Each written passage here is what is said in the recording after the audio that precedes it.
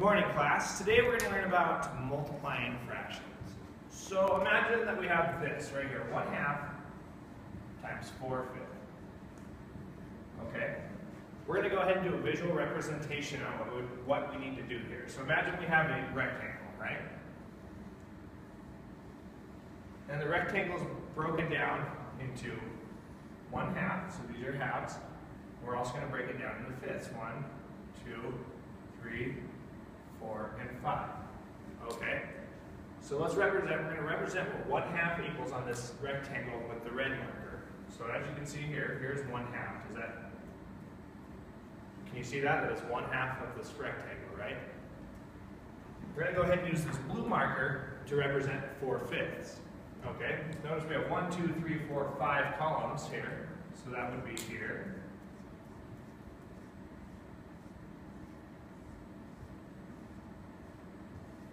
Okay, that represents four fifths. So what we have here in our in our rectangle, which our rectangle as a whole is equal to one, is one half times four fifths. Now the way to get the answer there is to look at our rectangle and figure out how many of these little squares are covered by both red and blue markings.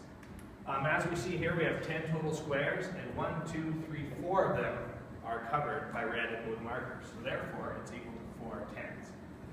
Now that's kind of a long, drawn-out way of doing it. Um, is, does anybody see an easier way of doing this? You can multiply across the top and the bottom. Very good, very good. As you can see here, 1 times 4 is equal to 4, and 2 times 5 is equal to 10. That is way easier than drawing a rectangle every single time. What we're going to go ahead and do now is I'm going to go ahead and put a couple examples up on the board, and we're going to work through them together, okay? So the first one we have here is 4 fifths times 2 thirds. Um, Brent, what is our first step in solving this? Uh, let's say times four, four times two, Exactly, so we're going to go ahead and multiply the tops. 4 times 2 is equal to what? eight. Very good, very good. What would be our next step, Shelby? Multiply across the bottom. Exactly, and 5 times 3 is equal to what? 15. Very good, very good. Let's go ahead and do another one, okay? This one's going to be a little trickier, but we can still do it. Okay, so we have 1 third, and we're going to multiply that by 7. Okay, what would be our first step, Jack? Would we turn the seven into a fraction? We could do that, that would be very good. What would the 7 equal? Um, I guess it would be seven over one. Exactly, 7 over 1. So then what would our next step be, Brent? One times seven, Exactly, 1 times 7, that is equal to? seven. Nailed it, nailed it. And what would be our next step? Multiply the bottom. And what is 3 times 1 equal to? 3. 3, exactly, very, very good. You guys get a pretty good grasp on this? Or do we want to do one more? 1 1.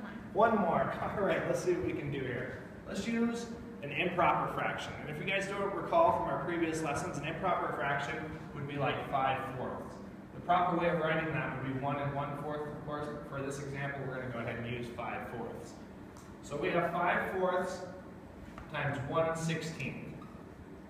What's our first step? Anybody?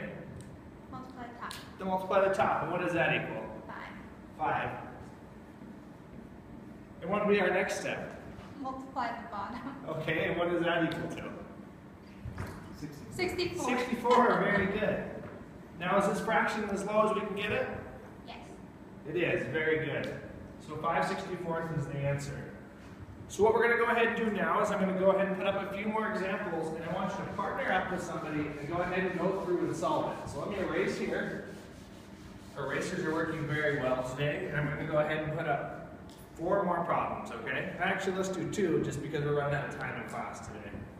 So let's go 2 thirds times 1 fourth and 1 half times 1 twentieth. Go ahead and partner up. Go ahead and work through it. Um, when you're done, go ahead and put your pencils down and raise your hand.